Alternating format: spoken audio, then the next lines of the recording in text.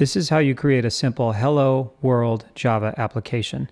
Just make a directory, change to it, touch a file called hello.java, then open Visual Studio Code. Once Visual Studio Code is open, click on hello.java and then create a class. After you've created a class, create a main method. After you created a main method, create system output and input the string hello world.